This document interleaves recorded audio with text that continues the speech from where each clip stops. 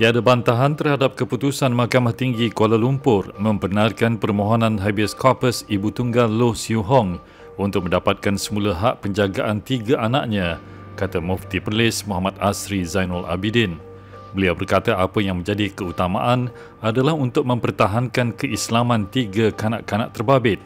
Asri berkata beliau kini sedang melihat langkah lain dari sudut undang-undang bagi mempertahankan keislaman anak Loh jika mereka ingin terus menganut Islam. Terdahulu, Hakim Colin Lawrence Quera membenarkan permohonan Loh selepas mendengar hujahan daripada peguamnya dan peguam yang mewakili Ustazah Nazirah Nanta Kumari Abdullah.